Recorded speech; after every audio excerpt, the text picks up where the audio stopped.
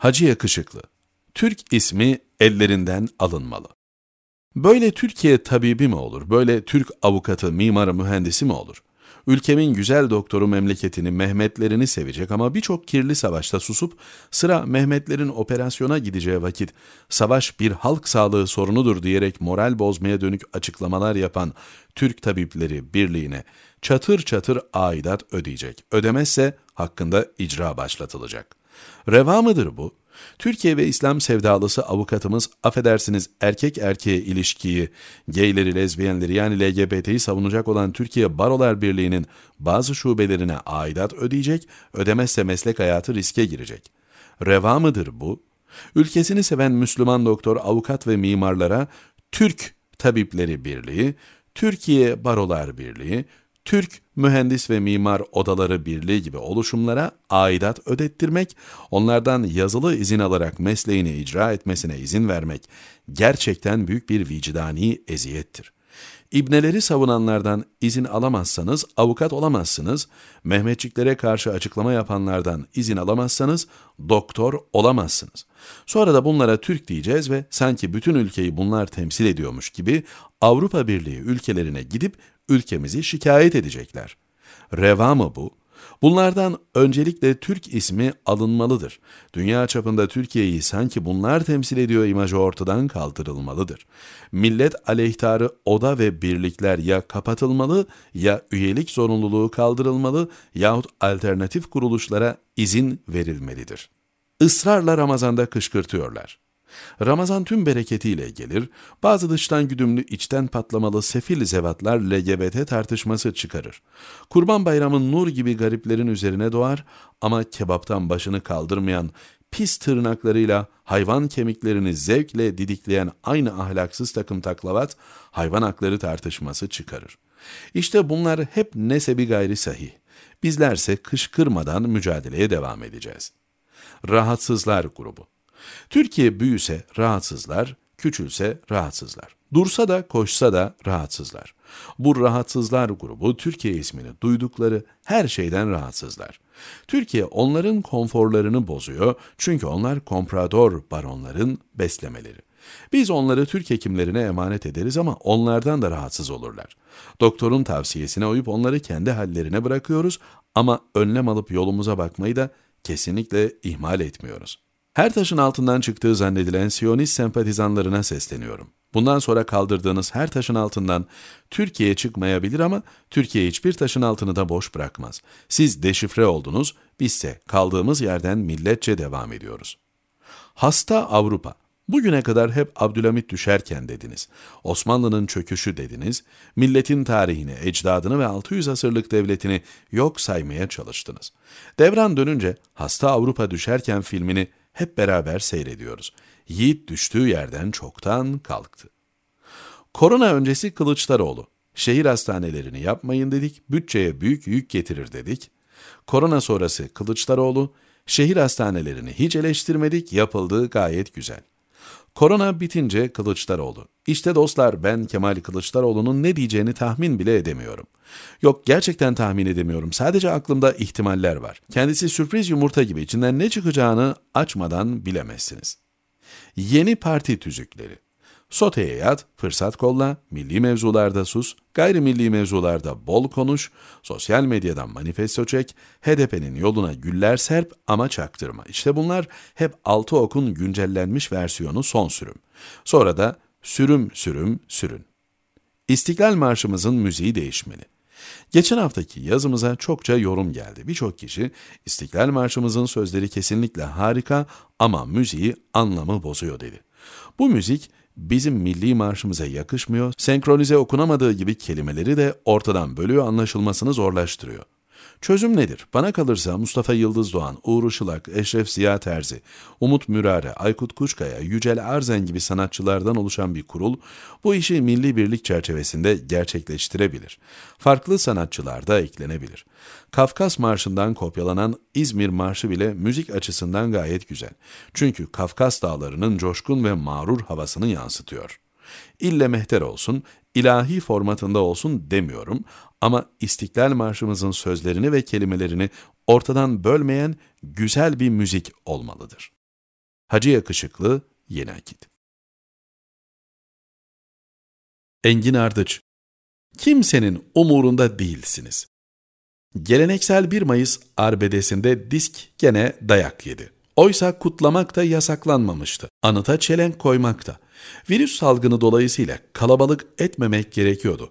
Maske takmak, sosyal mesafeyi korumak falan filan. Birçok sendika temsilcisi efendi gibi bu ritüeli yerine getirdi. Sanki boyları da uzadı. Ama bazıları geleneksel polisle çatışmaya girme zevkini yaşamak istediler. Yoksa polisten dayak yeme zevkini mi demeliydim? Bu hoşlarına gidiyor. İçlerinde CHP ve HDP'liler de vardı. Bunlar şimdi eylem mi yapmış oldular? Anıta çelenk koymak işçi sınıfının mücadelesini yükseltti mi yani? Sonuç karanfil ziyanlığından başka bir şey değildir. O anıta niçin ille de çelenk koymak istiyorsunuz yoldaşlar? Niçin başka bir noktaya değil de anıta? Nitekim kazancı yokuşunun başına çelenk bırakan bir grupçuk da çıkmadı değil. Kendilerine Türkiye Komünist Hareketi adını veriyorlar. Ama bu saygı duruşunu sokağa çıkma yasağı başlamadan önce ve şu ünlü sosyal mesafeyi korumaya özen göstererek yaptılar. Polis de saygıyla izledi. Bu çok daha anlamlıydı. Yıllarca ve yıllarca 1 Mayıs kutlamalarını ve gösterilerini yasaklamış olan devlet büyüklerimize şükranlarınızı mı arz ediyorsunuz? Size şizofren derler. O anıtta Frunze ve Voroshilov da var. Yoksa 30 yıl önce yıkılmış bir devletin başarısız kurucu ve yöneticilerine de mi arzı ubudiyet ediyorsunuz? Ya da şöyle sorayım, ne yaptığınızın farkında mısınız? Ya da şöyle sorayım, sizde biz ne yapıyoruz diye 5 dakika durup düşünme yeteneği var mı?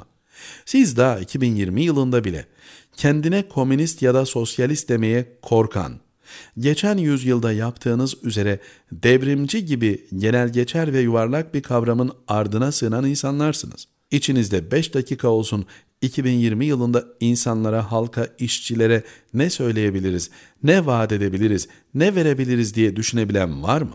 Atatürk'e saygı duruşunda bulunan HDP'liler, güldürmeyin bizi. Fikir sefaletinizi polis dayağıyla yani fiziksel sefaletinizle perdelemek sizi mutlu ediyor. Basında birkaç dıngıl yaşasın 1 Mayıs çığlıkları atınca da bir iş başardığınızı, olumlu tepki aldığınızı sanıyorsunuz.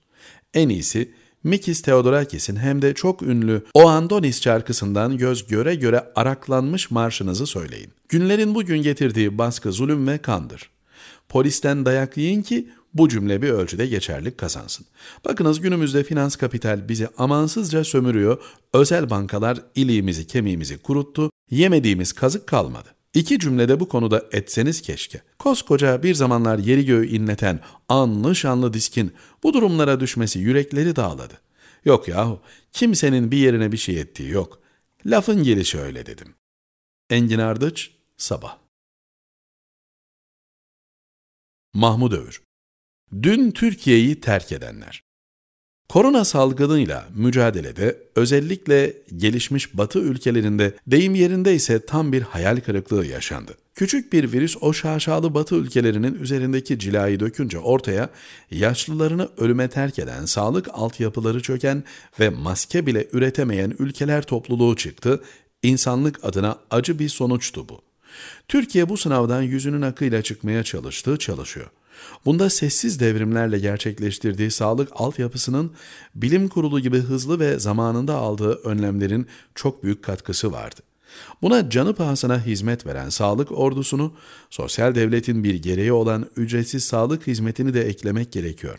Ama iki anlamlı çaba daha var. Biri dünyanın 101 ülkesinden 70 bine yakın vatandaşını ülkeye getirmesi, diğeri de aralarında Amerika ve İngiltere'nin de bulunduğu çok sayıda ülkeden gelen tıbbi yardım talebini karşılamaya çalışması. Dışişleri Bakan Yardımcısı Yavuz Selim Kıran, Türkiye'nin çok sayıda ülkeye yardım etmesinin ne anlama geldiğini şöyle anlattı. Türkiye'nin yardımları büyük bir ilgi gördü. Şu ana kadar 126 ülke yardım talep etti 57 ülkenin talebini karşıladık, diğerlerini de karşılamaya çalışıyoruz.